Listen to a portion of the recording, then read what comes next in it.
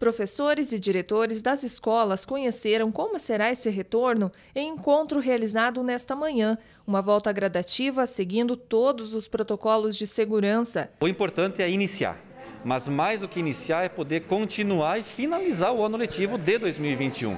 Então, muitos protocolos e diretrizes serão seguidos para que justamente a gente inicie de uma forma ordeira, de uma forma em que a gente possa é, ofertar segurança tanto aos alunos como aos professores dentro da escola. E o retorno será assim, do sexto ao nono, no dia 8 de fevereiro, do primeiro ao quinto, 25 de fevereiro, em março, a educação infantil e a integral.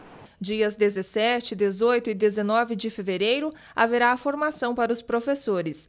O município de São Lourenço fornecerá máscaras, álcool e tomará todos os cuidados, além de outros insumos de prevenção para evitar contágio. Fazer com que todo o protocolo de saúde montado para a volta às aulas seja cumprido.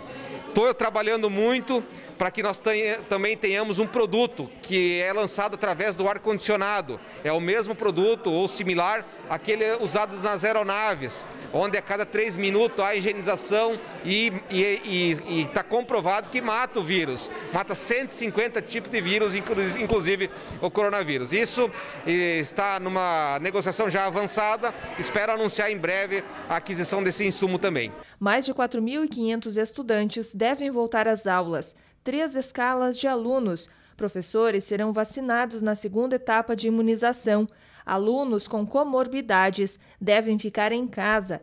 O transporte escolar está liberado, mas com 50% da sua capacidade. A higienização também é obrigatória. Vale dizer também para que os alunos, famílias, não apenas de São Lourenço, de todos aqueles que nos ouvem, que tenham uma responsabilidade, uma consciência muito grande no uso do transporte. Se você pode ir caminhando, vá a pé, tá? Deixa o transporte para quem realmente vai necessitar, porque talvez seja inviável trans transportar todo mundo.